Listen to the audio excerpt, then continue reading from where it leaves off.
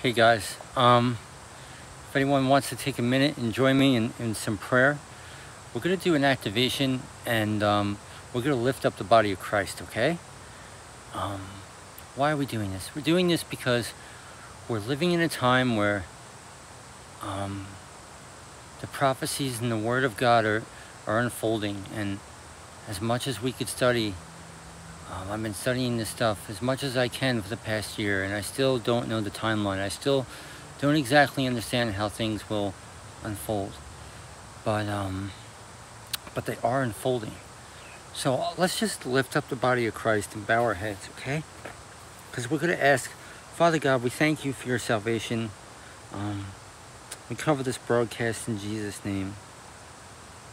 For you are sovereign, Lord.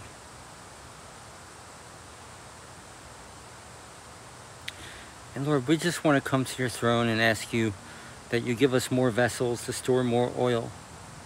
And to the best of my understanding, I believe that oil that we are to keep our lamps full with is how we apply the Word of God to our lives. And Lord, please give us the ability to store more oil.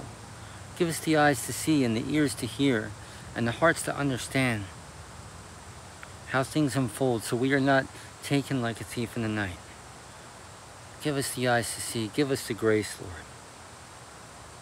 Because as I feel He is setting the stage.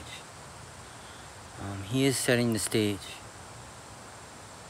So we just lift up the body of Christ in Jesus' name for the ability to receive revelation, the ability, the extension of grace to, to walk in peace like a hot knife through butter, to stand on a firm foundation. We know we will see a day of calamity and we ask for your grace, Lord. We ask for your grace for the house of Jacob and the house of Israel, to open the eyes of the blind and free the captives. Yes, Lord, because your spirit will pour out on all flesh. Hallelujah. Hallelujah, Lord. Hallelujah. Hallelujah. We ask, Lord, that you not lift up the body of Christ and give us the ability to lift up others. Open the eyes of the blind, Lord. Open the eyes of the blind. Let give them the eyes to see Take the veil away from the wicked in Jesus' name. Hallelujah. Reject their confidences, Lord. Yes, we ask that you reject the confidence of the wicked. You reject their confidences and you lift up your people.